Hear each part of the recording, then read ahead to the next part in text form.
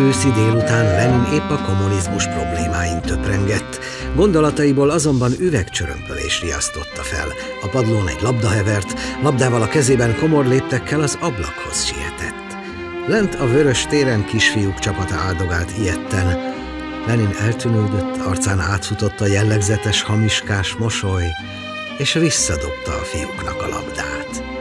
Pedig közéjük is lövethetett volna.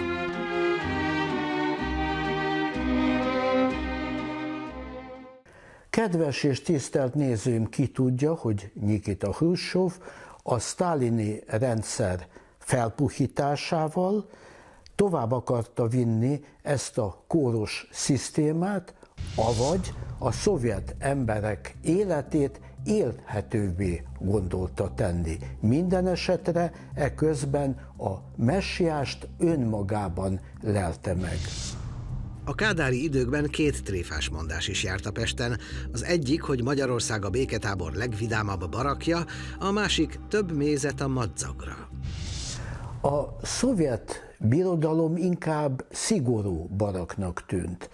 Ezért kevés méz is elegendő volt a madzagra, bár, amint Hrusov egyik alkalommal kifejtette, jó ez a marxi tanítás, nagyon is jó elvtársak. De azért sokkal jobban fog kinézni, ha megkenjük egy kis disznózsírral és jó ukrán szalonnával. Nikita, akár csak Fidel hosszú maratoni beszédeivel őrjétette, valósággal izgalomba hozta népét. A végén pedig ez a hatás abba maradt, mindenki unta Hrusovot.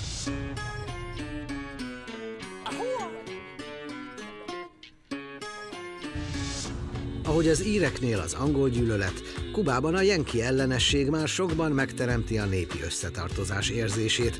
Castrónak egyszerű volt a dolga, bár szegénység van, de legalább majdnem mindenki szegény. Latinosan nyitott, barátságos emberek, varázslatos a zene és érzéki a tánc, körös körül bazi nagy strand, a világ legjobb szivarjai, banán, finom rumok, közlekedés muzeális ritkaságokon, és télen nem fagy meg senki. Így fél lábon is kivárható a kommunizmus mennyországa. Hrusovnak sem volt nehezebb dolga, mint Fidelnek, csak hogy más, mélyebb regiszterekben kellett pengetnie a szovjet néplélek húrjait. Leegyszerűsítve kibírjuk a kemény orosz telet, a nélkülözést, a hatalmi szigort, a kitelepítéseket, a sorbanállásokat, de addig is, amíg nem jön el a kommunizmus mennyországa, mindenképpen, és ez a legfontosabb, győztes nagy birodalom vagyunk, akik megtörték a német hadsereg gerincét a nagy háború idején. Ősi ösztönökre támaszkodhatott tehát Nikita Hrusov, a cári és a sztálini néplélek a birodalmi hagyományokra, amely, valljuk be, ma is ugyanúgy hat az orosz néplélekre, mint a korábbi századokban.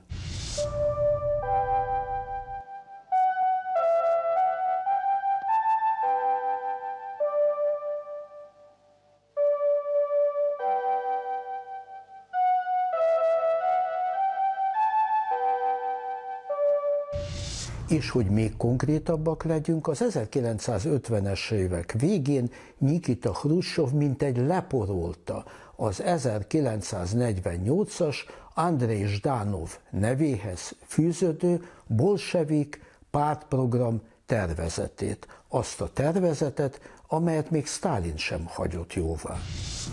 Részlet az 1948-as Zsdanovi pártprogram tervezetből. 20-30 éven belül teljesen meg kell szüntetni a Szovjetunióban a lakáshiányt. Egy-egy család jusson lakáshoz, a fiatalok külön összkomfortos szobához. Jöjjön létre fokozatosan az ingyenes víz, villany és gázszolgáltatások rendszere. Jusson hozzá bárki ingyen autóhoz. Ne kerüljön egy kopejkába se a kenyér, a hús és a vaj. Ingyen lehessen étkezni a vállalati kantinokban, pihenni pazarüdülőkben, mosodába adni a ruhát. Ne fitymáljuk le az utókor öntelt pökhendiségével ezeket a gondolatokat. Le Corbusier, a legelismertebb francia építész nagyon is hasonló jövőképet dédelgetve dolgozta ki főművét, a Marseille lakóházat. A megvalósult Marseille lakóház teljes csődje azonban nem biztos, hogy az elgondolás nevetségességét mutatja, hanem inkább a megoldandó probléma nehézségét.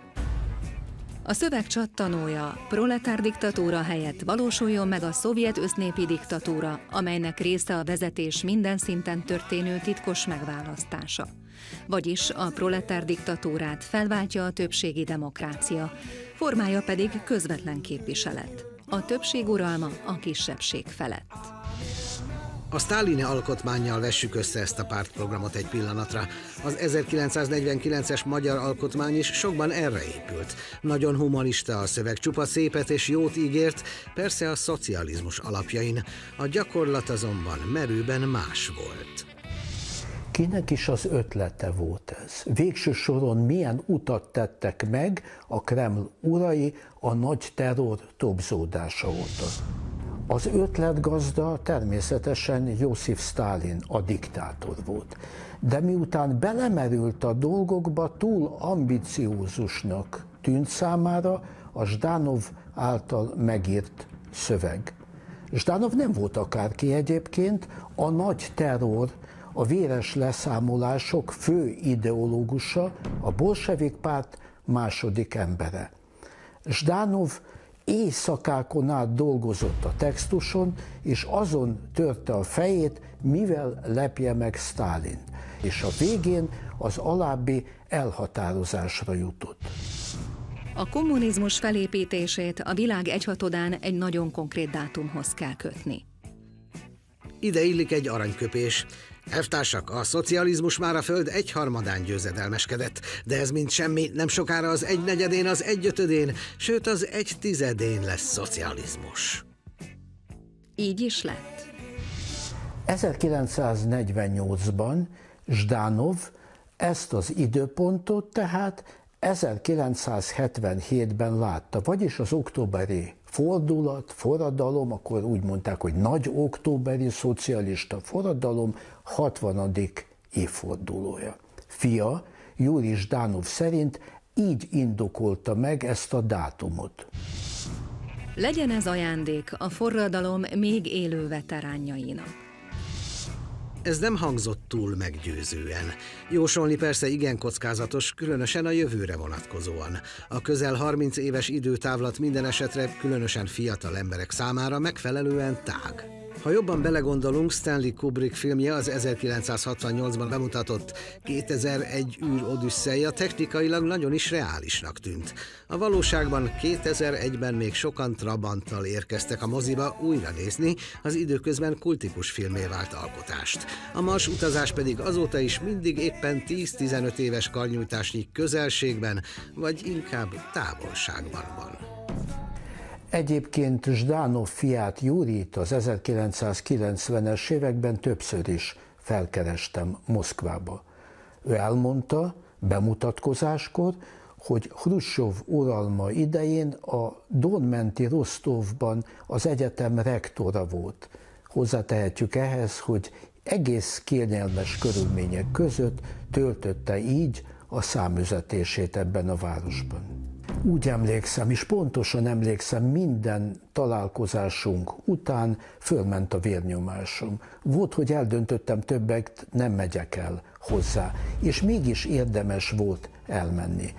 Júri Zsdánov, aki egyébként egy ideig Stálin veje is volt, a kellemetlen öregember híres volt antiszemitizmusáról, a sztálini kultúrpolitika kemény képviseletével, és kétfajta módszert alkalmazott, amikor leültünk beszélgetni, kétfajta módon fejezte ki magát. Amikor Júri Zsdánov nem óhajtott válaszolni a kérdéseimre, akkor új beszédhez folyamodott. Az 1930-as évek sztálini korszakának terminológiáját használta, és elütötte ezeket a kérdéseket. Máskor viszont tőmondatokban is nagyon logikusan fogalmazott, és megajándékozott engem azokkal a titkokkal, amelyeket nemzedék társai, akiket szintén felkerestem, nem voltak hajlandók elmondani nekem. Ezek az adomák, a történetek a Kreml urai közötti hatalmi küzdelemről szóltak leginkább. Az apja által papírra vetett 1948-as bolsevik pártprogram tervezetről Júri Zsdánova, hogy mondani szokás ezt, off the record módon volt hajlandó beszélgetni velem csupán.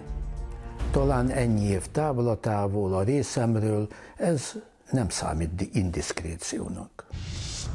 Stálin alaposan elolvasta nyaralójában apám jelenlétében a szöveget, és rögtön fölül is bírálta az ominózus 1977-es határidőt, azzal a megjegyzéssel, mindegy, hogy milyen évhez kötjük utódaink paradicsomba való bebocsátását. És képzelje Miklós, folytatta a dütör vörössé vált Juri Zdanov, ez a ravasz muzsik Kruscsov szó szerint átvette és sajátjaként állította be apám programját, talán három évvel későbbre tette a paradicsomi dátumot. Mondhatni, Kruscsov ellopta ezt a tervet.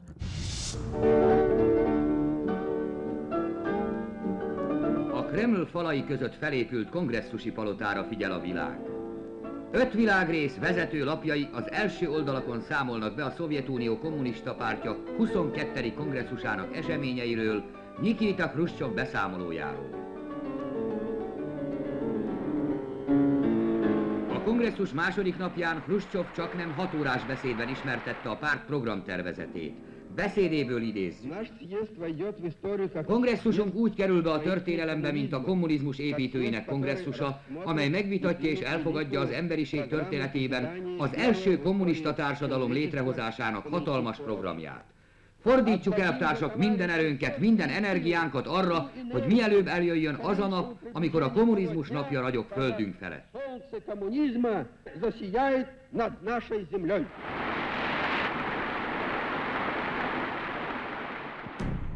Az 1961-es esztendő végén megtartott 22. pártkongresszuson Nikita Hruscsov meghirdette az 1948-as Zsdánovi bolsevik pártprogram tervezetet átdolgozva, viszont az 1977-es dátumot némileg későbbre tette.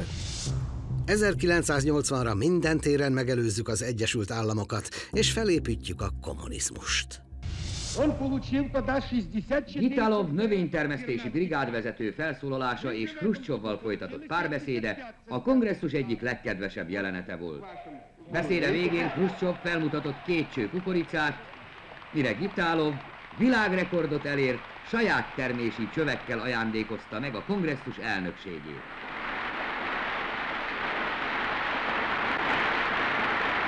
Magyar Szocialista Munkáspárt és népünk üdvözletét, jó kívánságait Kádár János tolmácsolta.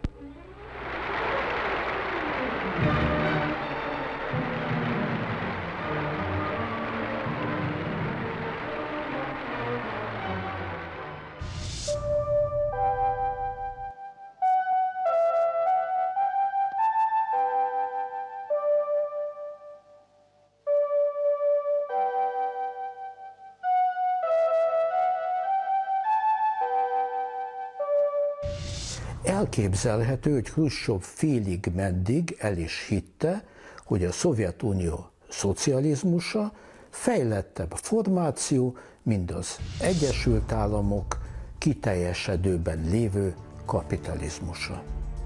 Az akkori Khrushchevi magabiztossághoz hozzátehetjük, hogy Oroszország azóta is ott ül szinte a teljes Mengyelejevi táblázaton. Vészesen elmúltak az évek, de számomra mindez, mintha tegnap lett volna. Emlékszem, mindenki szavalta Moszkvában, akkoriban a Pravdában megjelenő régmusokat. Ezek tulajdonképpen klapanciák voltak, és hát furcsán, primitíven rímeltek egymásra. A fülembe csengenek ezek a sorok Ты представляешь, через 20, всего лишь через 20 лет мы будем жить при коммунизме, не только строить коммунизм. Képzeld csak el, már csak húsz év, percként repül az idő, mint rég, s kommunizmust látja majd mi szép, mint megvalósult álmot a szovjet nép. De mit is ígért a Hrussovi pártprogram a szovjet alattvalóknak? A kommunizmus felépítése, mint szovjet szatellit államban, nálunk Magyarországon is sokáig napirenden volt. Talán érdemes ezen a szemüvegen keresztül is nézni a grandiózus tervet. 1965-re a Szovjetunióban megszűnik valamennyi adónem. Ez Magyarországon meg is valósult. Nem lehetett tudni, mennyi volt az adó, mert nem találkozott a lakosság az adóval. 1970-re országszerte megvalósul a kommunizmus első fázisa, ami azzal jár, hogy a Szovjetunió minden téren megelőzi az Egyesült Államokat, főleg az ipari termelés terén. Az 1970-es évek elejére a dolgozók életszínvonala megelőzi bármely kapitalista országét. Az évek folyamán minden szovjet család ingyen lakáshoz jut. Nem fizet többé lakbért. A villany, víz és gáz használata ingyenes lesz. Ez az elképzelés Budapesten meg is valósult, ami az ingyenes vízhasználatot illeti. Az iskolásokat ingyen öltözteti az állam, ingyenes lesz a tanulók étkeztetése is, akár csak a felnőtt lakosság pihenése, a turizmus, a nyaralás, a sportolás is. Magyarországon ez is részint megvalósult. A boltok áttérnek önkiszolgálásra és becsületkasszára megszűnik a pénztárrendszer, a gyógyszerek ingyenesek lesznek, akár csak a szanatóriumi beutalók. Végül 1980 körül az állam és az erőszakszervezetek számos attribútuma meg fog szűnni. Amúgy Hrusov tanácsadói és beszédírói cinikusan emlegették egymás között, hogy az iménti mondatokat részint Mórusz Tamás utópiájából kölcsönöztek, és azzal is tisztában voltak, hogy a valóság Szovjetuniója teljesen más volt.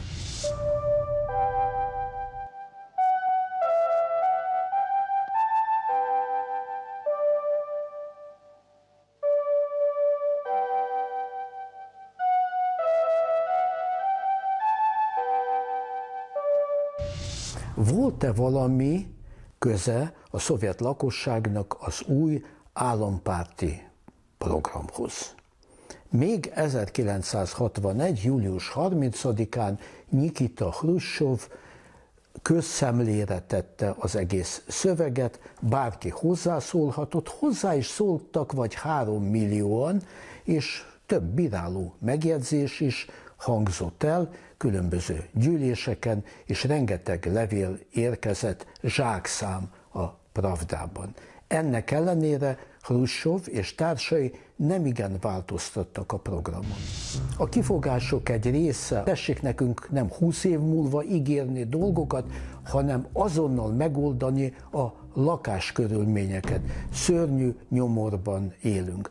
Hrusov próbált segíteni ezen, öt emeletes igénytelen házakat beton alkatrészekből sikerült felépíteni a nagyvárosokban. A régi házakban azonban még mindig nagyon összezsúfolódott a lakosság. Olykor egy ötszobás lakásban öt család élt. Édesanyám, rokonai, a Vasiljev család ugyancsak egy ötszobás lakásban úgy éltek, hogy még négy másik család is velük élt, holott ez a lakás a cári időkben az övéké volt. Vidéken pedig, ahol gyerekeskedtem a Szovjetunióban, magam is tapasztaltam, láttam, sok helyütt az emberek vályok, kunyhókban éltek, fabódékban, agyag ízű kenyeret ettek. Nagyon alacsony volt az életszínvonal a városokban, de vidéken még alacsonyabb volt és az emberek háborogtak, de ugyanakkor elviselték az egészet, akkor terjedt el, Khrushchev uralma idején is gyakori volt, ez a szólásmondás, все равно, лишь бы не было войны, mindegy, csak háború ne legyen. Az akkori életszétvonalt jól jellemzi az az ajándékcsomag, amit Yuri Gagarin, a nemzet hőse kapott az állami vezetéstől. Maga Khrushchev diktálta le Oleg Trojanovszki jelenlétében ezt a listát az egyik titkárnőjének. Egy Volga személygépkocsit, hat ágynemű csomagot, két takarót, két pár cipőt, fekete és bézs, 6 darab fehéringet, 6 pár zoknit, 12 darab zsebkendőt és egy pár téli kesztyűt.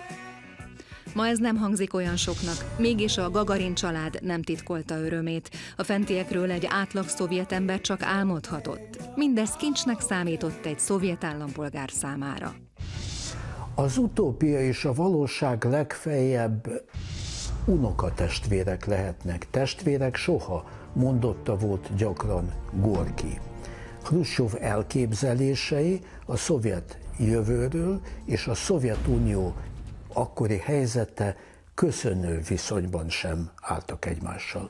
Khrushchev létrehozta a gazdaság fölpörgetését, szem előtt tartva a népgazdasági tanácsokat. Ezek azonban nem jutottak sokra, hiszen a tervutasításos rendszerbe egyszerűen nem is hatottak volna. A Khrushchev által kezdeményezett pénzreform, amikor is egy a tízhez be kellett váltani az embereknél lévő megtakarításokat, gyakorlatilag egy ilyen burkolt áremeléshez vezetett, és a Szovjetunió lakosságának jelentős része fel is háborodott, amikor Khrushchev kijelentette ezzel kapcsolatban. Korábban senki nem hajolt le egy kopejkáért, ha látta heverni a földön.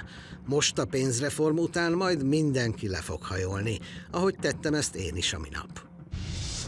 Gyerekkoromban meg voltam döbbenve, milyen primitív plakátok hirdetik az árubőséget, a nem létező árubőséget a Szovjetunióban. Az Egyesült Államokban viszont valóban árubőség volt, de erről a szovjet sajtó nem írhatott. Szovjetunió szerte dívott, a szürke, sőt a fekete gazdaság. Grúziában persze ez egy kivételes eset volt, pénzért pártfunkciókat, magas beosztású helyeket lehetett megvenni, sőt léteztek olyan manufaktúrák, egész gyárak, amelyek sehol nem voltak bejegyezve. Abháziában is, Adzsáriában, ez az akkori Grúzió autonómiái voltak, és rengeteg citrus félét termesztettek ezekben az országokban. A parasztok persze a háztáiból, vagy bárhonnan összeszedték a terméseket, és eladták ezeket beutazva az egész Szovjetuniót, akár távol-keleten, akár Szibériában, akár a két fővárosban, Moszkvában és Leningrádban. A hiánygazdaság körülményei között Moszkvában és más nagyvárosokban az igazán jó dolgokat csak pult alól lehetett megvenni. A 60-as évekre már kiörögettek azok a kocsit, melyeket szovjet tisztek külföldről szállították a Szovjetunió területére a második világháború alatt. Gond volt az autógyártással, és amikor Yuri Gagarin megkapta az űrutazásért ezt a bizonyos Volgát, ez nagyon nagy dolog volt. És Moszkvában nagyon könnyű volt akkor közlekedni, nem úgy Párizsban, ahol hatalmas dugók keletkeztek már az 1960-as évek elején. Amikor Khrushchev meglátta ezt, azt mondta tanácsadójának, Oleg Trojanovszkinak, na lám, ez a kapitalizmus. Az emberek nem tudnak jól lélegezni és nyugodtan egy nagyvárosban. Noha Nikita Hruscsovnak nem volt ehhez jogosítványa. Amint megerősödött a pozíciója, egyre gyakrabban felülírta a bírák amúgy igen szigorú tevékenységét a valódi vagy vélt gazdasági bűnözés felszámolása során. Khrushchev rendszeresen szabatott ki halálbüntetést áruház igazgatókra, nepperekre, sikeres külkereskedő hivatalnokokra, sőt ártatlan emberekre is, pont ő, aki mindig támadta a sztálini törvénytelenségeket. És amiről legközelebb részletesebben is szólunk, az 1950-es, majd az 1960-as években, de ez az egész folyamat még Stalin életében kezdődött, felkelések, lázadások törtek ki a gulágon, majd a nagyobb ipari központokban. Napjainkban mindennek nagyon nagy a szakirodalma de a szovjet lakosság hosszú éveken keresztül nemhogy a munkás felkelésekről, de a gulágról is alig tudott. A szovjet sajtó azonban elhallgatta, hogy az 1961-ben meghirdetett programmal szinte egy időben munkások százai rohanták meg Alexandrov városában a helyi pártbizottságot és a rendőrkapitányság épületét. Ruscsova környékbeli garnizonokból katonaságot küldött a lázadók ellen, és a bírák golyó általi halára ítéltek négy felbújtót.